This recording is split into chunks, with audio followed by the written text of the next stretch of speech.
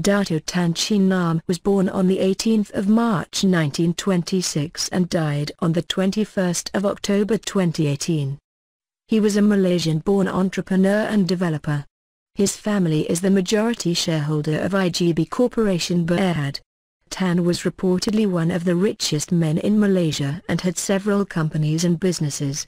He is famous as a property developer and was involved in various projects such as Shangri-La Hotel in Malaysia, shopping centers in Singapore and Malaysia, including one of the largest shopping malls in the world, Mid Valley Megamall. In Australia, he is responsible for the renovation of Queen Victoria Building, QVB, and Capitol Theatre in Sydney. He also owns a number of Australian-based thoroughbred racehorses. The principal owner for one of Australia's most successful horse trainers, Bart Cummings, Tan had a successful working relationship with Cummings for more than 30 years until the latter's death in 2015. He owned at least a share in most of Cummings' well-known horses, including Think Big, co-owned with Queensland property developer Rick O'Sullivan and then joined by Tunku Abdul Rahman, winner of back-to-back -back Melbourne Cups in 1974 and 1975, as well as the multiple Group 1 winner, Saintly.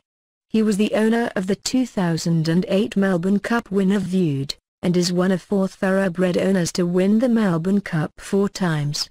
He also owned 2009 and 2010 Cox Plate winner So You Think, and the winner of the 2009 Crown Oaks, Faint Perfume. Tan owned a stud farm located along the Wingecarribee River at Burradoo, New South Wales that he named Think Big Stud. In 1975, Tan decided that there was great potential in expanding the game of chess in China.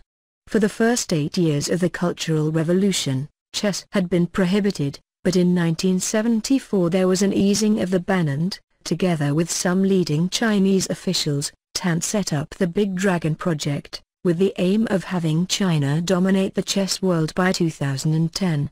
In 1982 he became the first FIDE deputy president for Asia.